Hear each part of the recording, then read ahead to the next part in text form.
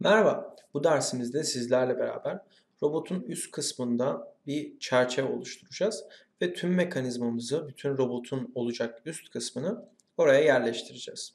Şimdi ilk adımda yapmamız gereken şeylerden birisi, şurada bulunan alüminyum profilleri ve alt kısmı aslında arka tarafa da yerleştirmek. Şimdi bizim elimizde bu parçalar bulunduğu için kopyala yapıştır yöntemiyle bu tarafa yerleştirebiliriz.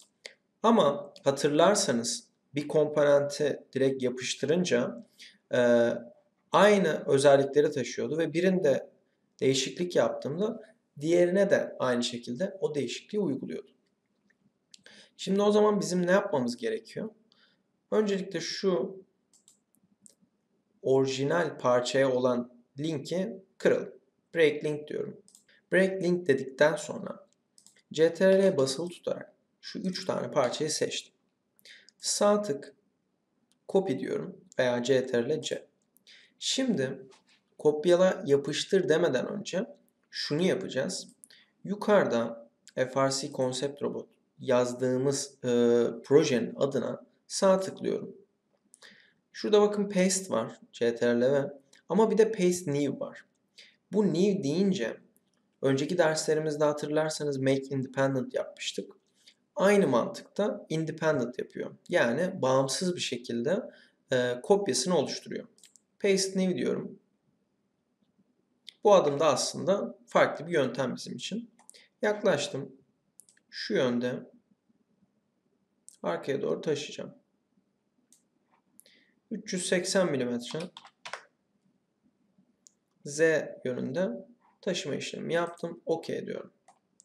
Ve şimdi herhangi birisinde yaptığım değişiklik diğerine aktarılmayacak ve bu şekilde robotumun üst çerçevesini oluşturmuş oldum. Robotumuzun boyu oldukça uzun oldu. Siz de fark etmişsinizdir.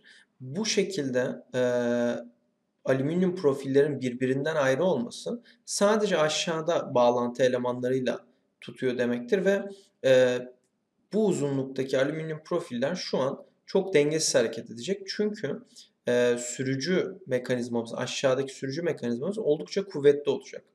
Şimdi bunları güçlendirmek için, mukavemetini arttırmak için yana destek alüminyum profilleri koyabiliriz. Şu dört yana bunları koyalım isterseniz. Ee, burada farklı şeyleri tercih edebilirsiniz. Eğer elinizde alüminyum profil varsa sigma profilleri, 6 sigma profilleri onlardan yerleştirebilirsiniz. Veya şöyle normal e, düz alüminyum profil varsa onlardan da yerleştirebilirsiniz. Deliği siz kendiniz açabilirsiniz. Şimdi ben şu alüminyum profillerden yerleştireceğim. Öncelikle buluyorum mesela şu veya şu. Aynı şekilde kopyala paste new yöntemiyle yapıştırıyorum. Yeni bir tane oluşturdum. Şöyle yukarı kaldırdım. Şimdi öncelikle en üst kısmına yerleştirelim isterseniz. Şöyle 90 derece çeviriyorum. Bakın bu manipülatörü de bu şekilde farklı yönlerde kullanabiliyoruz. Şimdi şöyle kabataslak getirdim şuraya. Şimdi burada uygulayacağım farklı bir yöntem var. Move'da hatırlarsanız şurada point to point veya farklı manipülatörlerle işlem yapıyorduk. Ama şu an farklı bir yol izleyeceğim. Modify içerisinde align diye bir komut var. Bu align komutu e, parçalarımız arasındaki, objeler arasındaki düzeni sağlıyor. Yani ben diyorum ki şu komponent, şu komponentin şu kısmı gelsin tam şurada bulunsun. Bakın o çizgiyi oturtturdu. Sonra devam ediyorum. OK dedim. Sağ, sağ tık, farenin sağ tıkına basılı tutup repeat align dedim. Son yaptığım işlemi tekrar edebilirim. Geldim şunun üst kısmına herhangi bir noktayı seçtim. Bakın bunu da bu şekilde buraya oturtturdu. OK diyorum. Şimdi geriye ne kaldı arkadaşlar? Şu kısmı şuraya yerleştirme kaldı. O zaman onu da yapalım. Yine sağ tık basılı tuttum. Repeat align dedim. Şurayı şuraya yerleştirdim. OK diyorum. Şimdi gördüğünüz gibi bakın bunun uzunluğu fazla olduğu için burayı e, geçiyor.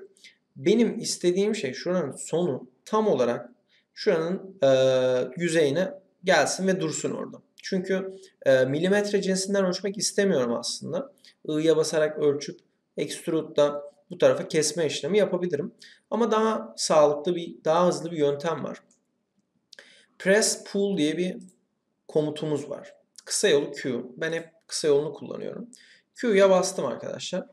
Şuradaki yüzeyi seçiyorum. Şu yüzeyi. Sonra hafifçe geri ittim. Şu an bir modify işlemi başladı bakın. Sonra diyorum ki şuradaki yüzeye bir kere tıklıyorum. Ve tam olarak bu çizgide, bu yüzeyde duruyor. Artık kaçsa boyu. 350 milimetreymiş. Ve e, artık buradaki profilim hazırlanmış oluyor. Ve bağlantı elemanlarıyla bunu buraya yerleştirebilirim. Şimdi aynısını buraya da aktarmak istiyorum. Geliyorum şöyle. CTRL C dedim. Paste New diyorum. Şöyle ittim. Bakın şu an align edeceğim. Sadece şu yüzeyler var. OK dedim. Bu sefer align'ı da uzun yolla açmayalım. S'ye bastım. Align diyorum. Enter dedim. Yaklaştım. Şu yüzeyi ve şu yüzeyi seçtiğimde bu buraya align olmuş oluyor. Şimdi hatırlarsanız ne yapmamız gerekiyordu bu e, komponentlerde? Şu an hareket ettirdiğimde e, bunlar herhangi bir yere bağlı değil jointlerle. O yüzden rigid grubu deneyebiliriz. Rigid grup burada oldukça işe yarar. E, ve gördüğünüz gibi robotumuz aslında şu an biraz daha e, katı olmaya başladı. E, ve hareket ettiğimizde daha sağlam, daha rahat bir hareket edeceğiz. Aynı şekilde şu üstten de birleştirmeleri sağlayacağız. Yalnız üst kısım için şunu söylemek gerekiyor. Şimdi buraya ben asansör mekanizmamı yerleştirdiğimde e, aynı şekilde burada bir ağırlık oluşturacağız bakın. Bu ortada genel olarak ağırlığımızı G noktası dediğimiz merkezde tutarsak hareketimiz her zaman daha sağlıklı olacaktır. E, o yüzden buradaki ağırlığı biraz o yüzden e, geriye doğru itmek istedim. Ve de aynı şekilde zaten buraya küp alacağımız için burada olması da gerekiyordu aslında.